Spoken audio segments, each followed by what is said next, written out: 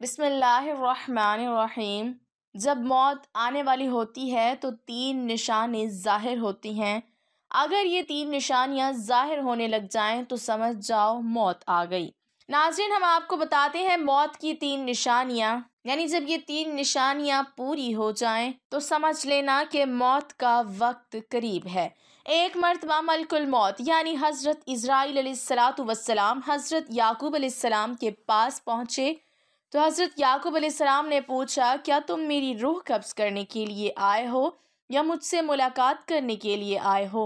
तो मलकुल मौत ने अर्ज़ किया अल्लाह के पैगंबर, मैं रूह कब्ज़ करने के लिए नहीं आया हूँ, बल्कि आपसे मुलाकात के लिए आया हूँ। तो हज़रत याकूब सलाम ने फरमाया, ठीक है, लेकिन जब तुम मेरी रूह कब्ज़ करने के लिए आओ तो कोई कासिद मेरी तरफ़ रवाना करना, कोई पैगाम मेरी तरफ़ भेज देना तो मलकुल मौत ने कहा कि रूह कब्ज़ करने के लिए आऊँगा तो उससे पहले दो या तीन कासिद आपकी तरफ़ रवाना करूँगा और वो आपको इतला दे देंगे। चुनाचे एक वक्त आया जब मलकुल मौत हज़रत याकूब सलाम के पास अचानक आ गए और रूह कब्ज़ करने की बात कही। तो याकूब सलाम ने फरमाया कि तुमने तो मुझसे कहा था कि मैं कोई कासिद भेजूँगा, कोई पैगाम देने वाले को आपके पास भेजूँगा।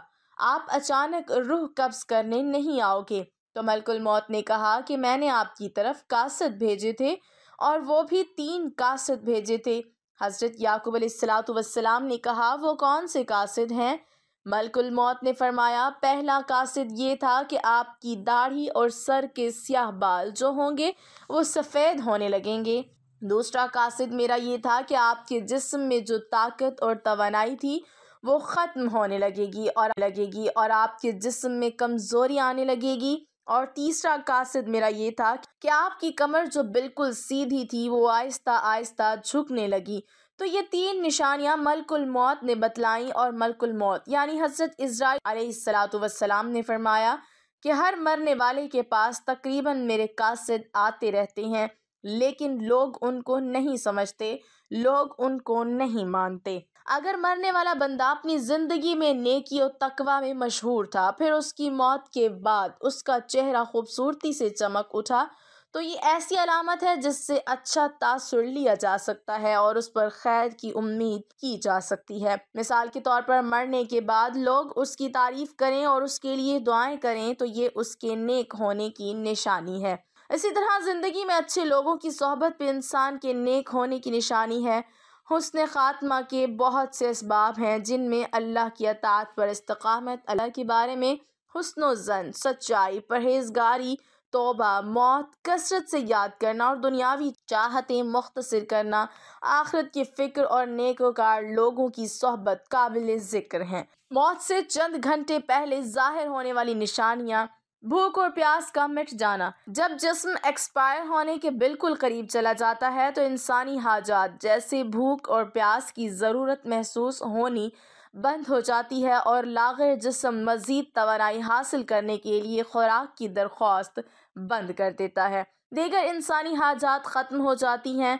मौत से चंद घंटे पहले इंसानी जिस्म, पाखाना और पेशाब की हाजत महसूस करना भी बंद कर देता है। ये गोया निशानी है रूह के जिस्म को छोड़ने से पहले की मौत से कुछ घंटे पहले जिस्म दर्द से कराहता है और उस पर खौफ की अलामत भी ज़ाहिर होती ज़ाहिर होती हैं, जिसमें कप कपी वगैरह तारी हो सकती है। दिल की धड़कन का बेतरतीब होना सारी ज़िंदगी खून को पंप करने वाला दिल की धड़कनें मौत से कुछ देर पहले बेतरतीब हो जाती हैं और नब्स को हाथ से महसूस करना मुश्किल हो जाता है और ये इशारा है कि ये आज़ा अपना वक्त पूरा कर चुके हैं और अनकरीब बुझने वाले हैं। मौत का अमल आखिरी सांस लेने से एक हफ़्ता कबल शुरू हो जाता है। इस दौरान सेहत मुतासर होने लगती है जिसम कमज़ोर पड़ने लगता है, चलने में दुशारी पेश आने लगती है और गनूदगी तारी रहती है। आखिरी लम्हात में खाना पीना मुश्किल होने लगता है। जिसम का दर्जा हरारत, जिसम का वक्त जब ख़त्म होने वाला होता है तो आँखों में आँसू चमकते हैं और जिसम का दर्जा हरारत गिर जाता है और दोबारा बहाल नहीं होता। ऐसे मौके पर उसे शदीद पसीना भी आ सकता है। महसूसात कम हो जाना रूह जब जिस्म को छोड़ने के लिए बिल्कुल तैयार हो, यानी मौत से तकरीबन 24 घंटे पहले तो हाथों पाँव घुटनों की जिल्द पर महसूसात ख़त्म हो जाती हैं और उनका रंग बदलना शुरू हो जाता है और ये नीला या अर्गवानी रंग अख्तियार करना शुरू कर देता है। सांस की बेतरतीबी, ये निशानी वाज निशानी है जिसमें सांस उखड़ना शुरू होता है और बेतरतीब होता चला जाता है और धीरे धीरे बुझ जाता है। हज़रत आयशा सिद्दीक़ा रज़ी अल्लाह तह से रिवायत है कि रसूल करीम सल्लल्लाहु अलैहि वसल्लम ने इरशाद फरमाया कि जब अल्लाह ताला किसी बंदे को नेक बख्त बनाना चाहता है तो मरने से एक साल पहले एक फ़रिश्ता उसके पास भेजता है और वो उसको दुरुस्त करता है। और नेक अमल की तरफ़ ख्वाहिश दिलाता है। यहाँ तक कि वो नेक हालत में मरता है और सब लोग कहते हैं कि ये शख्स नेक हालत में मरा है। और जब मलकुल मौत हाजिर होता है, उस वक्त अल्लाह ताला उसकी आखिरत में रहने की जगह, यानी वहाँ के सामान और राहतों को जो अल्लाह पाक ने उसके लिए मुहैया कर रखे हैं, तैयार कर रखे हैं, उसको दिखा देता है। तो उसकी रूह खुश होकर निकलने का कासद करती है। उस वक्त ये शख्स अल्लाह ताला की मुलाकात के लिए करता है और अल्लाह ताला उसकी मुलाकात को पसंद भी करता है। फिर मलकुल मौत रूह कब्ज़ करता है और जब अल्लाह किसी बंदे के साथ बुरा करता है तो मरने से एक साल पहले उसके पास एक शैतान भेजता है। वो उसको गुमराह करता है और बहकाता रहता है। यहाँ तक कि बुरी हालत में मरता है और सब लोग कहते हैं कि बुरी हालत में मरा और जब मलकुल मौत हाजिर होता है तो उस वक्त अल्लाह ताला उसकी आखिरत में रहने की जगह उसको दिखाता है। तो उसकी रूह खौफ से बदन के अंदर घुस जाती है। उस वक्त अल्लाह की मुलाकात, यानी सामने आने को ये पसंद करता है और अल्लाह उसकी मुलाकात को भी करता है। उस वक्त अल्लाह की मुलाकात, यानी सामने आने को ये नापसंद करता है और अल्लाह उसकी मुलाकात को भी नापसंद करता है। फिर मलकुल मौत उसकी रूह सख्ती से खींच कर कब्ज़ करता है। किताबुलफ़ा के मुसनफ़ इस हदीस की तशरी में कहते हैं कि मलकुल मौत के बुलाने पर जान इस तरह निकलती है जैसे सपेरा सांप को उसकी सुराख से बुलाए और मोमिन और काफिर दोनों के जिस्मों से रूह निकलने की हालत यकसा होती है। फ़र्क सिर्फ़ ये है कि मोमिन की जान तो खुद निकल जाना चाहती है और काफिर की जान होंठ तक आकर जिस्म के अंदर वापस जाना चाहती है। हज़रत जाबिर रज़ी अल्लाह तु से रिवायत है कि मैंने रसूल सल्लल्लाहु अलैहि को वफ़ात से तीन दिन कबल ये कहते सुना कि तुम में से जो कोई मरे तो इस हालत में मरे कि वह अल्लाह ताला की नस्बत अच्छा गुमान रखता हो।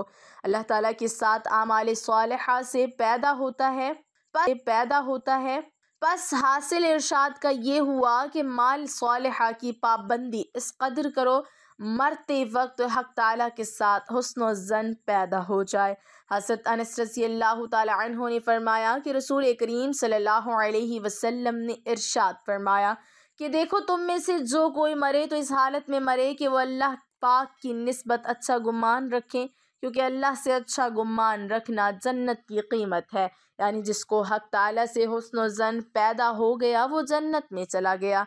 रिवायत है कि हज़रत उमर रज़ी अल्लाह तु ने फरमाया कि रसूल करीम अलैहि वसल्लम ने कि जब अल्लाह ताला किसी बंदे को दोस्त रखता है, उसको पसंद करता है, शहद जैसी खुशगवार चीज़ देते हैं या यानी आमाल सालहा और अखलाक हसना की तोफ़ी कता फरमा देते हैं। साहबा ने कहा कि इस तरह शीरी करता है, आपने फरमाने से पहले नेक काम करता है। यहाँ तक कि उसके पड़ोसी उससे खुश हो जाते हैं।